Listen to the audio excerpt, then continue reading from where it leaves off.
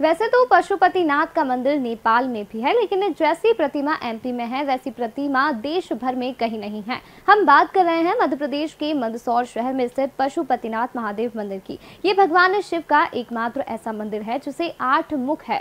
भगवान शिव की यह प्रतिमा अपनी कलात्मकता के कारण श्रद्धालुओं का मन मोह लेती है।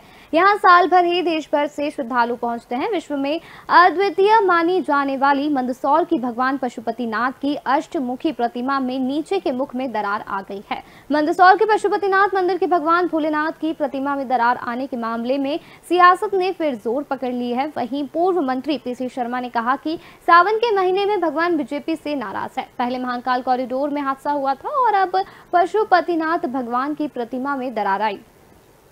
ये महीना सावन का महीना, आज सावन का सोमवार। ये सब स्थिति हो रही है। कहीं ना कहीं बीजेपी से नाराज़ है भगवान शिव भी। और इसीलिए जब महाकाल में जो महाकाल कॉरिडोर जिसकी शुरुआत कमलनाथ जी की सरकार में हुई थी, वहाँ पे भी जो मूर्तियाँ स्थापित की थी, वो नहीं, ये सब, ये इंडिकेशंस हैं और इंडिकेशंस मिलते रहते हैं। मैं समझता हूँ कि इससे सबक लेगी भी।